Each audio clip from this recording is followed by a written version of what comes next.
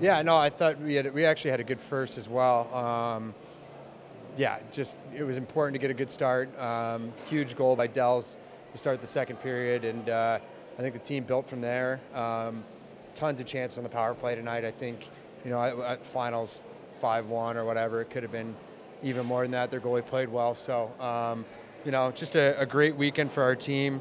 Um, you see the guys kind of rallying together here, and getting back to 500 was our goal, and, and we've accomplished that. So now it's time to take another step. You mentioned that. How important was it for this team with the month it had to get back to 500? Yeah, I mean, uh, anytime you get in a hole 06 is, is obviously difficult, and um, you know it's tough to feel good about yourself. But we've slowly built this thing, and, and like I said last night, uh, you know this is the team that you know we thought we were going to be. So um, we're excited about that, and, and uh, just ready for what comes next. Eight points in the last three games for you. We know you've credited your teammates for your success, but what are you doing to find yourself on the score sheet night after night? Uh, I mean, really, it's again just kick it back to the teammates. Guys are playing really well. Um, you look up and down our lineup, guys are contributing.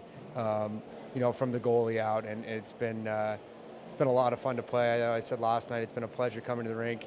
Um, it's been a while since I've had this much fun playing hockey, so um, it's uh, it's good night tonight, and uh, ready for practice on Monday we see what happens at the end there. Is that typical Reign Gulls game?